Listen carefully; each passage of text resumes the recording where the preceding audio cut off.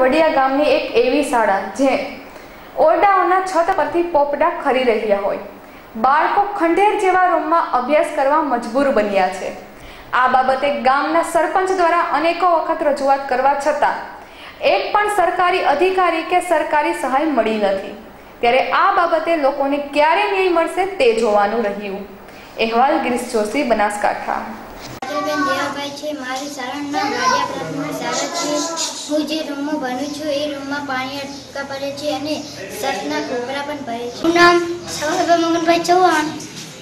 મારી શાળાનું નામ ગાડિયા પ્રાથમિક શાળા. હું છઠ્ઠા ધોરણમાં ભણું છું.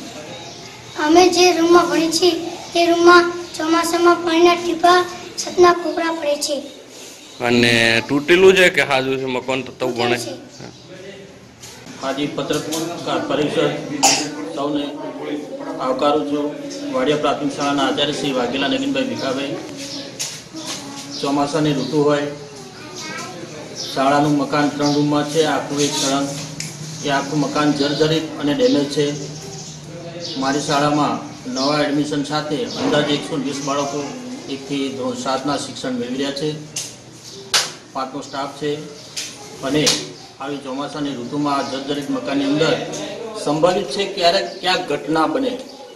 અને શાળામાં ભણતું બાળકની તમામ જવાબદારી અમારી હોય છે. તો આપ સરકારશ્રીને અને રજૂઆત કરું છું કે આ ડેમેજ મકાનનું તાત્કાલિક નિરાકરણ કરે અને એના રજૂઆત ભાગરૂપે હાલની તારીખમાં મેં ગ્રામજનોને મિટિંગ કરી, ઠરાવમાં લઈ અને મેં મારા દફતરી કામની સર્વે પ્રોસેસ એને કે મારા આધાર પુરાવા સાથે સેન્ટર શાળાનું રવાના કરું છું. અને વધુમાં એ જ જણાવવાનું કે શક્ય ત્યાં સુધી વાડિયા ગામના આ બાંધકામને નવું પુનઃસર્જન સરકાર અમને આપે એ અભ્યર્થના જય હિન્દ જય ભારત. એટલે તમે આગળ કોઈ રજૂઆત કરેલી ખરી આના પહેલા? ના અગાઉ રજૂઆત આજથી છ મહિના પહેલા શ્રી ધીરજભાઈ સાહેબે રજૂઆત કરેલી હશે એ મને ખબર નથી. અને જાન્યુઆરીની પાંચ તારીખે હું અહીંયા ચાર્જમાં આવ્યો ત્યારથી આ તારીખ સુધી આ ફર્સ્ટ રજૂઆત હું કરું છું. એના સાથે ગામના સદસ્ય છે શિક્ષણવિદ એવા સિસોદિયા રમેશભાઈ આની વિશે રજૂઆત ઘણી વાર કરી વારંવાર. પણ કરી છે.